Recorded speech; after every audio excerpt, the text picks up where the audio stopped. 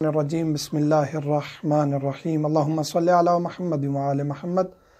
مومنین کرام، آج ایک اہم نہایت ہی اہم ترین موضوع اور حساس موضوع ڈسکس کرنے جا رہے ہیں۔ وہ ہے استمنا استمنا یعنی کہ اپنی منی نکالنا اپنے جسم کے جنسی اعضاء کو چھیڑنا اور اپنی منی نکالنا یہ گناہ کبیرہ ہے حدیث رسول صلی اللہ علیہ وآلہ وسلم ہے کہ یہ فواہش میں سے ہے یعنی کہ گناہان کبیرہ میں سے ہے اس کی بہت بڑی سزا ہے اور امام صادق علیہ السلام فرماتے ہیں کہ اللہ تعالیٰ اس شخص سے نہ کلام کرے گا نہ اس کی طرف اپنی نظر رحمت کرے گا جو استمنا کرتا ہے، اپنے ہاتھوں سے لذت لیتا ہے، چاہے وہ لڑکا ہے یا لڑکی، چاہے وہ مرد ہے یا عورت۔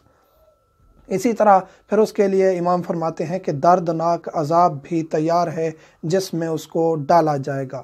اور یہ اس کے بارے میں کافی روایات اور سخت ترین روایات موجود ہیں کہ یہ استمنا کتنی بڑی لانت ہے اور کتنی بڑی مصیبت ہے، جس میں آج کا تقریباً ایٹی پرسنٹ، ایک محتاط اندازے کے مطابق اور یورپین ممالک میں نائنٹی پرسنٹ طبقہ جس میں تقریباً مرد اکثر ہیں نائنٹی پرسنٹ مرد ہیں، تو خواتین بھی سیونٹی پرسنٹ جس میں مبتلا ہیں۔ یہ آن لائن ایک سرچ کے مطابق جو خود کو لذت دینے کے لیے اپنی منی نکالتے ہیں۔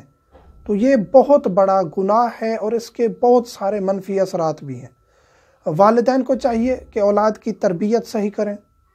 جو ہی اولاد جوانی کی دہلیز پہ قدم رکھے، ان پر سخت کڑی نظر رکھیں۔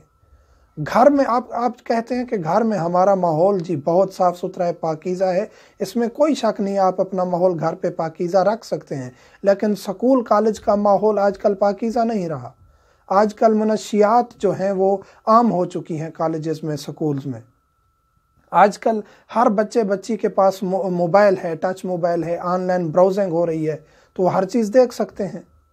تو پہلے تو یہ ہے کہ ہماری حکومتوں کو چاہیے کہ وہ ایسی ویب سائٹس بلاک کر دیں جن کی جن پر نظر پڑتے ہی شہوت ابھرتی ہے۔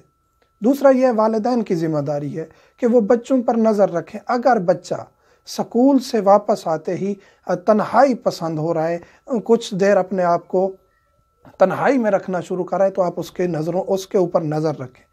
کڑی نظر رکھیں تاکہ وہ کسی ایسی چیز میں مبتلا نہ ہو۔ والدین کی جو نظر ہوتی ہے، اس میں شفقت بھی ہوتی ہے، سختی بھی ہوتی ہے۔ دونوں پہلو ملحوظ نظر رکھنے چاہیے، نہ حد سے زیادہ سختی کرنی چاہیے، نہ حد سے زیادہ نرمی کرنی چاہیے۔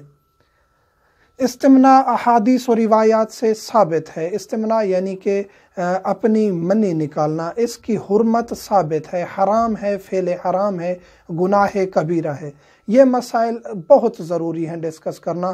اور جو مومنین سمجھتے ہیں کہ ہم درست کر رہے ہیں، وہ دعائیں بھی دیتے ہیں اور کمنٹس میں بھی ہمیں اپریشیٹ کرتے ہیں اور فون کر کے بھی بعض مومنات، مومنین دعائیں دیتے ہیں کہ آپ ہماری، ہمارے بچوں کی اصلاح کریں۔ کچھ کم علم ہیں جو جہالت کی حد تک پہنچے ہوئے ہیں۔ ان کو پھر یہ چیزیں عجیب لگتی ہیں اور پھر وہ بعض اوقات ہمیں گالیاں بھی دیتے ہیں یا بری باتیں کرتے ہیں ہمیں ان چیزوں کی پرواہ نہیں ہے۔ اپنے ہاتھ سے اپنی منی نکالنا، چاہے وہ مرد ہو یا عورت ہو، جائز نہیں ہے۔ عورت کی منی اور مرد کی منی، اس کے بارے میں ہم تفصیل ڈسکس کر چکے ہیں رتوبت والی ویڈیو میں کہ جو مرد عورت کی رتوبت نکلتی ہے، اس میں اور منی میں کیا فرق ہے لیکوری اور منی میں کیا فرق ہے، اس ویڈیو کا لنک ہم ڈسکرپشن میں دے دیں گے تاکہ آپ کے لیے کلیئر ہو جائے کہ منی اور رتوبت میں کیا فرق ہے، مرد کی بھی، عورت کی بھی۔ میاں بیوی ایک دوسرے کو فری کر سکتے ہیں۔ ہاں البتہ میاں بیوی ایک دوسرے کے ساتھ، میاں اپنی بیوی کے ساتھ، بیوی اپنے میاں کے ساتھ یہ فعل انجام دے سکتے ہیں۔ اگر انہوں نے مباشرت نہیں کرنی یا نہیں کی، ایک دوسرے کو وہ فری یا ڈسچارج کر سکتے ہیں۔ اس میں کوئی حرج نہیں ہے۔ ایک سوال یہ پوچھا جاتا ہے کہ علاج اس کا جو ہے نا، علاج ضروری ہوتا ہے بعض اوقات بچے کے لیے کہ پریگننسی نہیں ہو رہی یا دیگر وجوہات کے لیے منی نکالنی پڑتی ہے۔ تو آخری سٹیج میں خود اپنی منی نہ نکالنے، ہو سکے میاں بیوی اکٹھے جائیں ڈاکٹر کے پاس، مباشرت کریں اور منی نکال کے ڈاکٹر کو دے دیں لیبارٹری کے لیے، اگر ممکن نہیں، بالکل پاسبل نہیں ہے۔ آخری صورت ایسی ہے کہ آپ کا خود کا اپنا منی نکالنا ضروری ہے، تو اس آخری سٹیج پہ جا کے آپ مجبور ہیں۔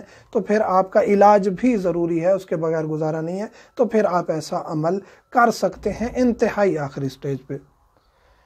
اور اس سے اگر ایسا کسی نے کیا ہے، لڑکے نے یا لڑکی نے، یہ سب سے بڑا جو مصیبت ہے وہ یہ ہے انٹرنیٹ پہ ایسی چیزیں دیکھنا۔ دوسرا، لڑکے لڑکیوں کا یا لڑکیوں کا آپس میں زیادہ دیر اکٹھے رہنا یا یہ چیز بھی حرام ہے، شریعت نے ذکر کی ہے کہ حتیٰ کہ نوجوان لڑکیاں آپس میں یا لڑکے آپس میں ایک بستر میں نہ سوئیں، چاہے وہ بہنیں ہوں یا بھائی ہوں۔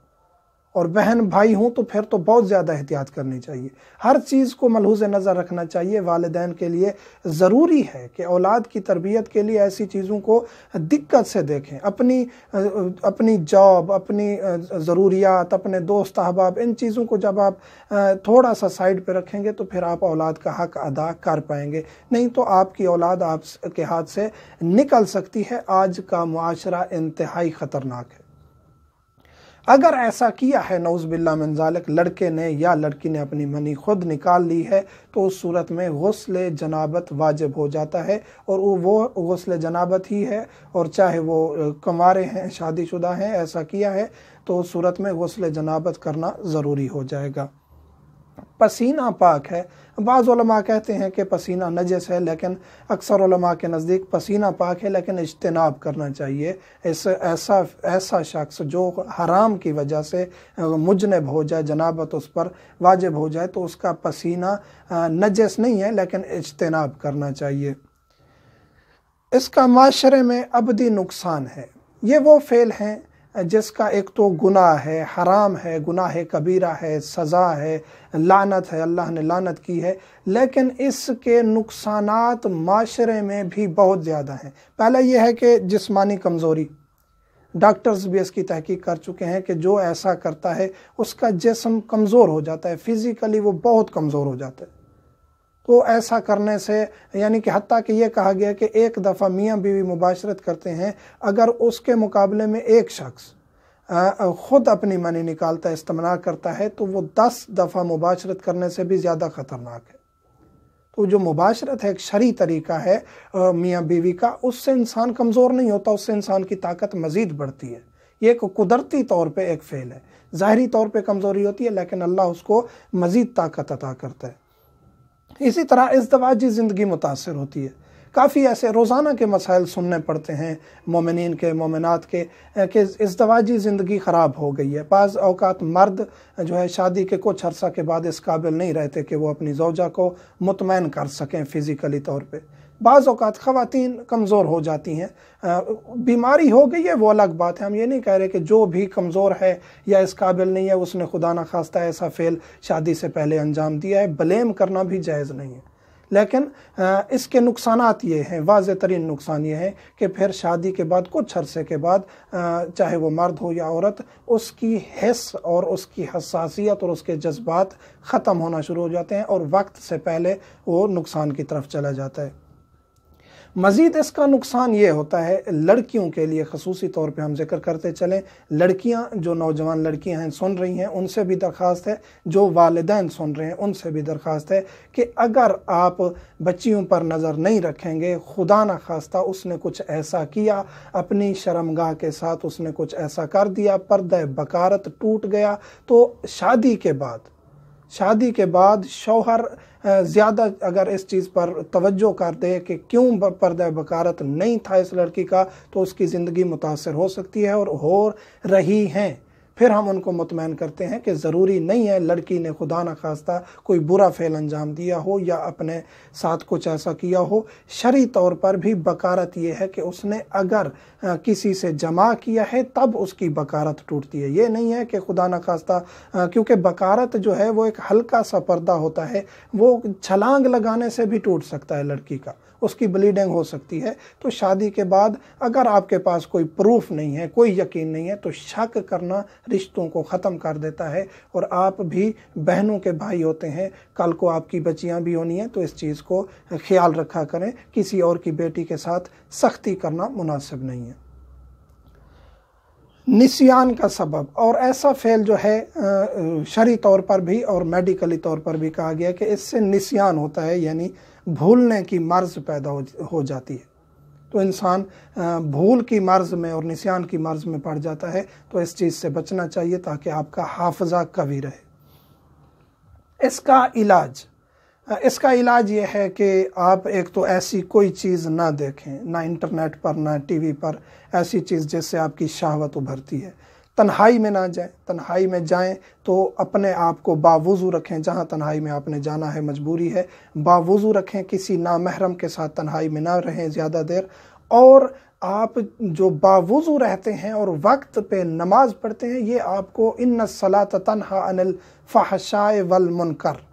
نماز جو ہے وہ ایک مین رول کردار ادا کرتی ہے آپ کو گناہوں سے بچانے کے لیے۔ اگر آپ نے نماز وقت پہ ادا کی اور آپ باوضو رہے، آپ باوضو رہیں لیکچر سن رہے ہیں کالج میں ہیں، آپ یونیورسٹی میں ہیں اسکول میں ہیں، کوشش کریں آپ وضو کے ساتھ رہیں۔ ایک تو اس کے برکات ہیں، اثرات ہیں۔ آپ کے دنیاوی دینی طور پہ آپ کے اوپر روحانیت آتی ہے۔ دوسرا یہ ہے کہ آپ شیطانی غلبے سے محفوظ رہتے ہیں۔ باوضو رہا کریں اور وقت پہ نماز پڑھا کریں، یہ سب سے بہترین علاج ہے۔ تو انشاءاللہ آپ ایسی مصیبت سے بچ پائیں گے۔ یہ مسائل ڈسکس کرنا بہت ضروری ہیں اور ریکویسٹ ہے نوجوانوں سے۔ خصوصاً جو سکولز کالجز میں ہیں یونیورسٹیز میں ہیں ہاسٹلز میں زندگی گزارے ہیں والدین سے دور ہیں یا والدین کے پاس بھی ہیں لیکن والدین مصروف ہیں، وقت نہیں دے پا رہے، تو آپ اپنا خیال رکھیں۔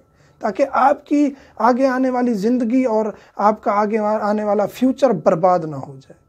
تو اپنے آپ کو بربادی سے بچائیں۔ یہ چند منٹ منٹس کی جو لذت ہے، اس کے بعد فقط پچھتاوا اور گناہ ہے۔ مومن سے ہوں۔ ہمیں دعا میں یاد رکھا کریں۔ والحمدللہ رب العالمین۔